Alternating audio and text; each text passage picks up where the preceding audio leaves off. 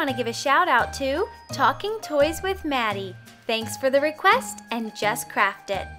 For a two-toned stocking look, start by taking two pieces of felt and place them with the good sides facing each other. We have a red sparkly felt and a sock monkey felt, so we'll turn them so they're facing good side together. Then we're gonna take our stocking template. You can print this from our blog or you can draw your own. And we're just gonna trace it onto the felt. Once it's traced on, you can cut out your stocking and you'll have two pieces. Leave them with the good sides facing each other and taking your needle and thread, hem around the outside of the stocking. You can also use a sewing machine if you have one. Make sure to leave the top open as you go.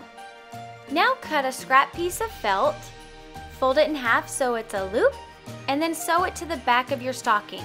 Make sure that you hold a space in between your stocking, that way you don't sew it to the front of the stocking also. It just needs to be sewn to one piece.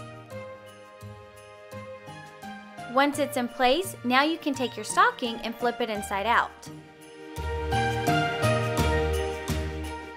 Your American Girl doll Christmas stocking is now complete.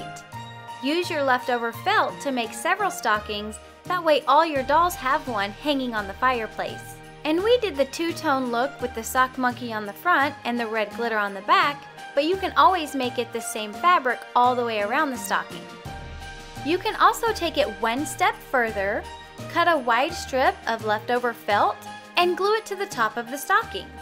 It just adds a little more detail and looks adorable. Give us a thumbs up if you like the sock monkeys, and leave us a comment below to tell us what your stockings look like.